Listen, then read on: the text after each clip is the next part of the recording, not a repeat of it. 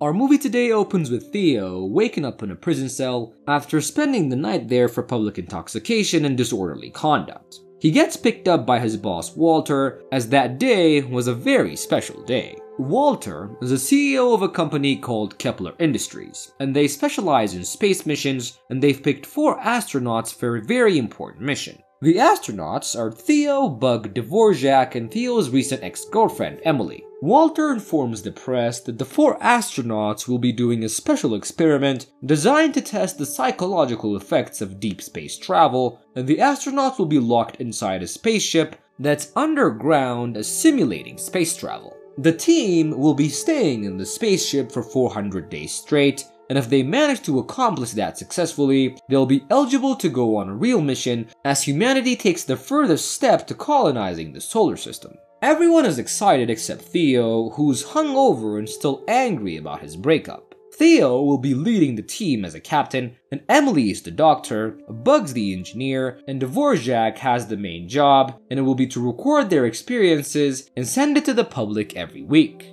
After the press conference ends, Walter whispers to Emily, asking her if they had a deal, and he then warns the whole team if they fail this mission that they will ruin their careers. The team then get into their ship and the 400 day simulation starts. The first thing they do is simulate a takeoff, but before they could leave Earth, their ship drags the launching materials, giving the team a few seconds to fix it or they will fail the first test. Everyone scrambles to fix the situation, but Theo was deep in thought. Emily finally snaps him back to reality, and he manages to fix the situation, saving them from disqualification.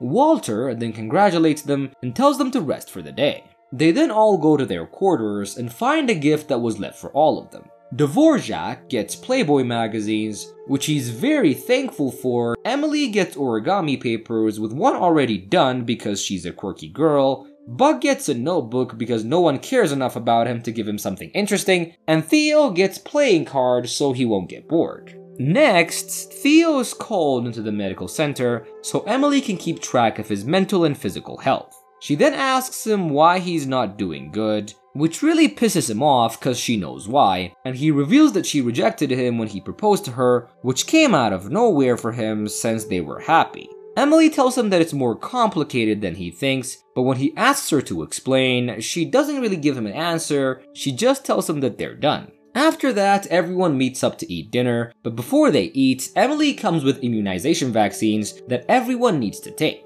Dvorak refuses, saying that he never heard of a vaccine during their training, but everyone tells him that it was there, and he agrees to do it anyways. He actually does it after Theo makes fun of him for fearing needles. Later that night, Dvorak comes to Emily's room and tells her if she wants to talk, that he's actually there for her, but she quickly shuts him down and tells him that she's okay, and as he goes out of her room, he sees Theo giving him the side eye. Seven days pass and we see Dvorak vlogging while working out, and he then uploads it for the outside to see, and we then see Emily finishing her last origami paper, and the movie then cuts again to day 26. Everybody's getting bored, so Emily brings out a memory game to give everyone something to do to track their mental strength. Bug finishes first as Theo and Dvorak waste their time trying to compete with each other, but suddenly the ship starts shaking and alarms start to go off, and the team realizes that something is wrong. They immediately run to the control room to talk to Mission Control, but they don't get a response from Walter or anyone else. They then think that this is part of the test, so they examine what the problem is, and they figure out that their solar panel is damaged, so Theo tells them to conserve energy. The crew reaches 200 days, and the day starts with them taking the immunity vaccine, and Dvorak then goes to upload his weekly vlog, but on the computer screen, he briefly sees a message that read, She's poisoning you, and he then blinks and he only sees the message that says upload failed.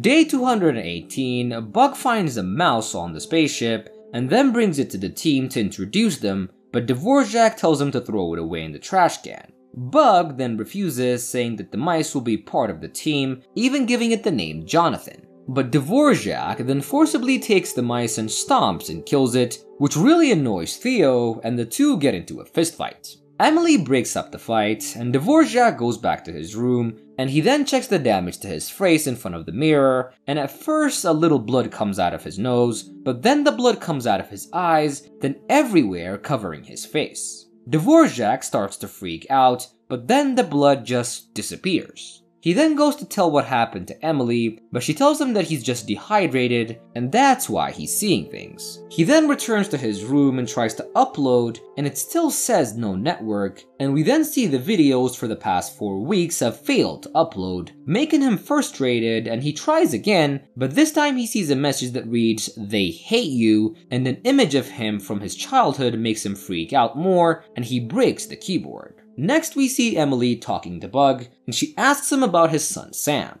He tells her that he feels really guilty about not being able to see him for a long time, and also about how not being able to see the sun and being stuck inside the ship is putting him on edge. Next, we see the team on their 365 days on the ship, and Bug has been spending most of his time in his room, making everybody worry. Emily finally decides to talk to him, but he doesn't let her in, and we see him finishing drawing patterns all around his bedroom wall. He then starts hearing Sam's voice, and his room starts tilting, and he then sees Sam running under his bed and going into the vent. Bug follows Sam to the place that he told him about the mission, and Sam then disappears, and we see Bug crying on his bed. Next, it's day 373, Theo wakes up to a noise of something hitting the spaceship hatch, and everyone is confused as to who's doing that, but since protocol dictates to ignore it, they decide to go on about their day. The noise continues throughout the day, but everyone thinks it's a test, so they do their best to just ignore it,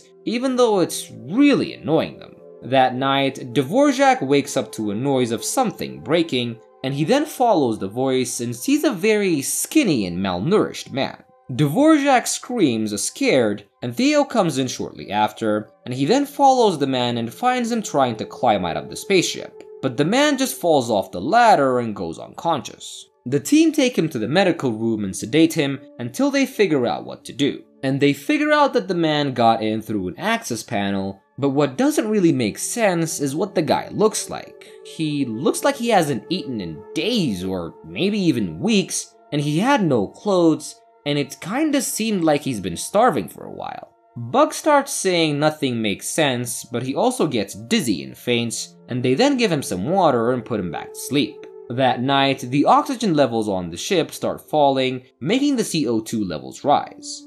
Theo wakes up from bad dreams and runs to Emily's room, but he finds her passed out on anxiety pills that she actually takes every day. He and Dvorak manage to save her by giving her CPR, and they figure out that they need to do something about the oxygen levels. Dvorak then examines the oxygen tanks and tells them that the oxygen level has been dropping from the outside and that there's something that is broken in the ship's system.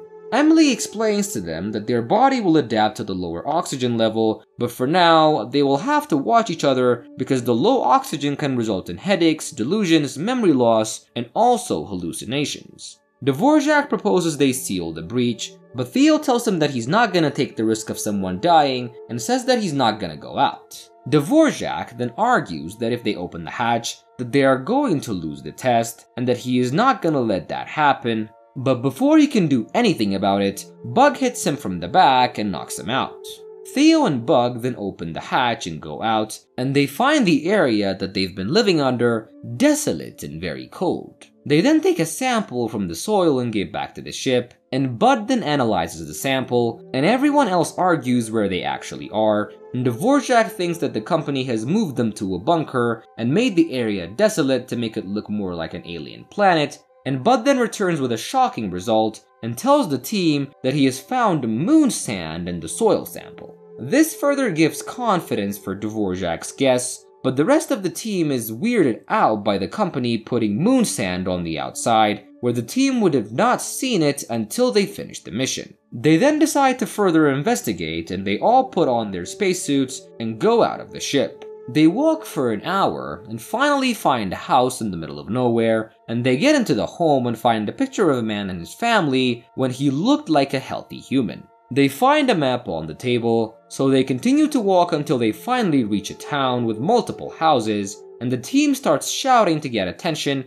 but they get no response. Everything is quiet until one man named Zell comes out of a diner and just starts sweeping the floor. He then asks them to join him for dinner, and as he was the only person they met, they follow him into the diner. In the diner, they find more people just sitting there, and Dvorak notices some of them and remembers that they were part of the press team the day the team entered the ship. Zell then brings them food, which only Dvorak eats, and Theo asks him what happened, and Zell informs them that nobody really knows what happened, but that something black on the sky collided on the moon and it brought it down. He tells them that some people think it was nukes or aliens, but no one really knows what actually happened. Dvorak is not impressed by the story and asks Zell what press organization he works for and asks him what Walter has told him, and this makes Zell angry, but he just tells them to leave by tomorrow. Dvorak still thinks that this is just a test, but from what they have seen, the rest of the team are starting to believe some kind of apocalypse has happened since they went inside the ship. The team then all go to a bar to blow off some steam, but Dvorak splits from them to talk to a pretty woman. After walking for a while, Theo goes to find Dvorak, and he asks the bartender if he's seen him, but he didn't. The team then thinks that he just left with the woman, and they decide to just wait for him at the bar. But, unfortunately, they get kicked out by the bartender after a while. The trio return to the diner to sleep, and they then come up with a system for one person to be watch while the others sleep and Bug takes the first shift and stays up, as Theo and Emily sleep. After a few hours, Bug gets bored and starts walking around, but as he opens a door, he enters a hospital room with Sam on the bed. Bug tries to talk to the people there, but he gets no response, and then walks up to the bathroom and sees Sam again running into the hallway. He follows Sam, but he runs into Zell, who asks him what he's doing there. On day 399, Emily and Theo wake up from their sleep and they ask where Bug is, but he tells them that only two of them came to the diner, and he then tells them that they were just oxygen deprived and seeing things. But Theo has had enough of this and he starts looking around for hidden cameras. Zell then tells them that they should go back to their ship, but when Theo says what, he pretends that he didn't say ship. Theo then tries to confront him, but when Zell shows him his knife, he and Emily decide to leave. They run outside, but a storm splits them, and we follow Theo as he ends up in the diner's kitchen. There, he finds a man who broke into his ship, caged in a small box, begging for help. He then unlocks the cage and releases the man, but as he got out, he gets stabbed by an old woman. He then runs to Emily outside and she quickly patches his wound, and they run to the man's home to rest for the night. As they lie on the floor, Theo asks her what Walter whispered to her, and she reveals to him that the reason she broke up with him was because Walter wanted them to break up to study how they will deal with the situation. This makes Theo really upset and asks why she didn't tell him this before, cause if she did, they could have just faked it, but she tries to explain herself, saying that Walter would have found out if they faked it, but Theo gives her the cold shoulder and goes back to sleep. Later, they wake up and run back to the ship, but they don't find neither Bug nor Dvorak there. Theo then goes back to the hatch to close it, but he sees Zell with two people, and he figures out that they've been following them and decides to defend the ship. Theo then goes out from the back side and takes out two of the men as Zell enters the ship from the front. Zell whistles as he looks for Emily with his knife, but before he could get to her, Theo cuts him off, and Zell then claims that he came to take Theo to his friends who were waiting for him in the diner. But Theo wasn't buying any of that and they get into a fight. Theo is badly hurt, so he gets overpowered by Zell, but before Zell can finish off Theo, Emily stabs him in the back and kills him. The crew then reaches 400 days just as Zell dies, and a recording of Walter comes up on the screen congratulating them for completing their mission successfully. Theo and Emily then see a bright light and a footstep coming from the hatch, and they grab each other's hands but as they wait to see what's going to happen next, the movie ends.